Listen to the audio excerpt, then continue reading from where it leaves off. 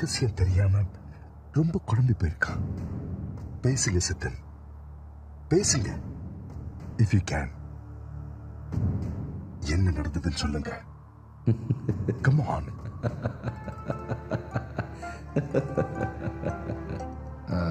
அவன்கிட்ட போய் சொல்லு. நான் நான் இறந்து போயிட்டேன்னு வருத்தப்படவே வேண்டாம்.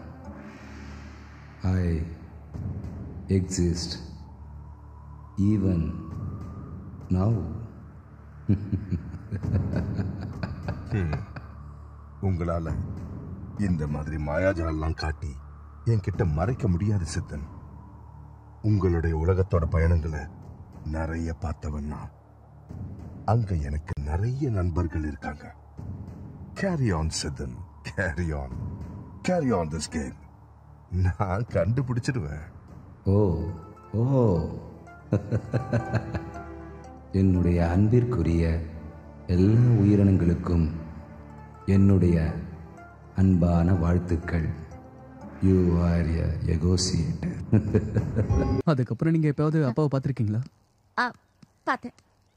அவர் கூப்பிடாமலேயே நான் ஒரு தடவை அவரை போய் அங்கே பார்த்தேன். ஆனால் சார் ஏதோ மன கஷ்டத்தில் இருந்தார் போல இருக்கு. இதுக்கு முன்னாடி நான் அவரை அப்படி பார்த்ததே இல்லை.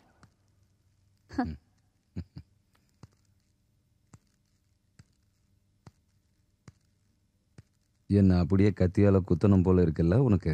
ம்? எதுக்கு? உன் உத்தம புருஷனை உன்கிட்ட இருந்து பிரிச்சனே அதுக்காக. கத்திய வச்சு குத்துனன்லாம் ஒன்றும் தோணலை. ம்? பின்ன? ஆ, ஒரு பெரிய பாறாங்கல்ல தூக்கி உங்க தலையில போடலாமா? இல்ல ஒரு பெரிய பில்டிங்ல இருந்து உங்களை கீழே தள்ளலாமான்னு? ம். அப்படி அப்படிலாம் நான் கனவு கண்டிருக்கேன். ஒரு வாய்ப்பு தந்தா நீ அப்படி செய்வியா? அந்த மாதிரி வாய்ப்பு கிடைக்கும் போது யாராவது அப்படி செஞ்சாங்களான்னு எனக்கு தெரியணுங்க. அப்படின்னா? உங்களுக்கு தெரியாது. அப்பா அந்த கட்டடத்துல இருந்து கால் தடிக்கு கீழே விழுந்து சாகல. யாரோ அப்பாவை கொண்டுட்டாங்க ஐயோ எதுக்கு? அதை கண்டுபிடிக்க தான் நானும் முயற்சி பண்றேன். உங்களை சந்திக்கிறதுக்கு முன்னாடி வரைக்கும் உங்க மேலேயும் எனக்கு சந்தேகம் இருந்தது. ஆனா ஒண்ணு மட்டும் நிச்சயங்க. எங்க அப்பாவை கொன்னது கண்டிப்பா பொண்ணுதான். Towards the end he had a depression அடிக்கடி மூடியா இருக்கிற ஆளுங்கிறதுனால நான் அதை பெருசா எடுத்துக்கல.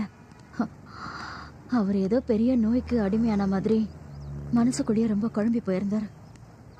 அவர் எழுதின கதாபாத்திரத்து கூட வாழற மாதிரி சில நேரங்களில் அவர் பைத்தியம் மாதிரி பிஹேவ் பண்ணதை கூட பார்த்துருக்கேன்.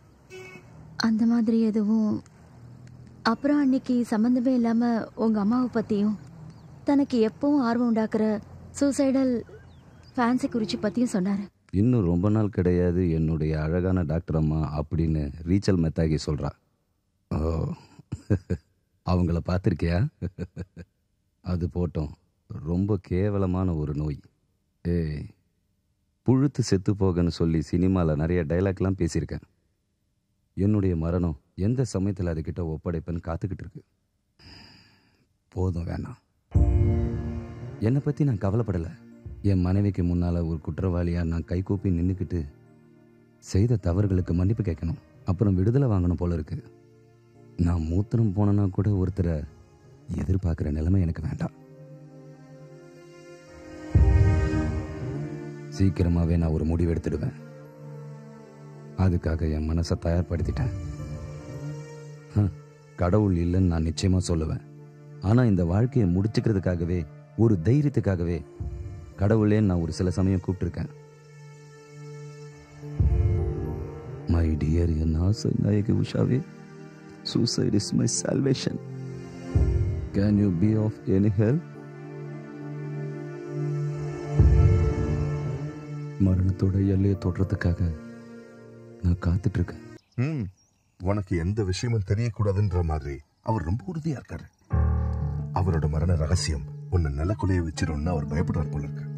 பட் அவர்கிட்ட பேசிக்கிட்டு இருந்த அந்த கம்யூனிகேஷனுக்கு நடுவில் அந்த டேஃபோடில்ஸ்ல இருந்து எனக்கு ஒரு நல்ல லீடு கிடைச்சிருக்கு. அதுல என்னன்னா சித்தார்த்தன் தனக்கே தெரியாம அந்த லீடை எனக்கு கொடுத்தாரோன்னு எனக்கு ஒரு டவுட் இருக்கு. மெடிக்கல் ரிப்போர்ட் மெட்ராஸ்ல விஜயா ஹாஸ்பிட்டல்ல சித்தார்த்தனை செக் பண்ண டாக்டருடைய findings observations and insights go through you know something